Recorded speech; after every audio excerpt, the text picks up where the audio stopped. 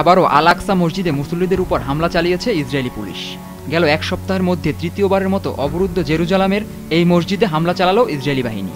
এ ঘটনায় অন্তত একত্রিশ জন ফিলিস্তিনি আহত হয়েছেন, যার মধ্যে তিনজন সাংবাদিক ছিলেন। শুক্রবার ফিলিস্তিনি রেড ক্রিসেন্ট জানিয়েছে, এই ঘটনায় চোদ্দ জনকে হাসপাতালে নেওয়া হয়েছে। এদের মধ্যে দুইজনের অবস্থা গুরুতর।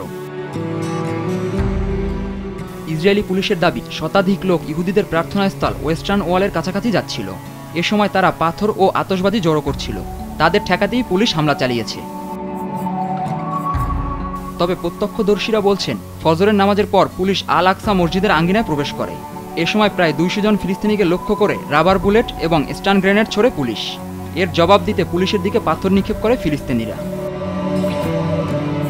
এর আগে গত শুক্রবার ফজরের নামাজের সময় আল আকসা মসজিদে অভিযান চালায় ইসরায়েলি পুলিশ।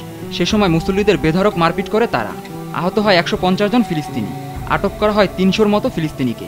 এর দুদিন পর পুনরায় মসজিদের ভেতরে হামলা চালায় ইসরায়েলি বাহিনী। ওই ঘটনায় তীব্র প্রতিবাদ জানিয়েছে আরব লীগ। আরব লীগের পররাষ্ট্রমন্ত্রীরা যৌথ বিবৃতিতে বলেছেন আল আকসা মসজিদে ইহুদিদের প্রার্থনা বন্ধ করা উচিত। নিরস্ত্র মুসল্লিদের উপর হামলা বিশ্বের সহিংসতা উস্কে দিতে পারে বলেও আশঙ্কা প্রকাশ করেন তারা। Zubair Rajin, news desk, Desh TV.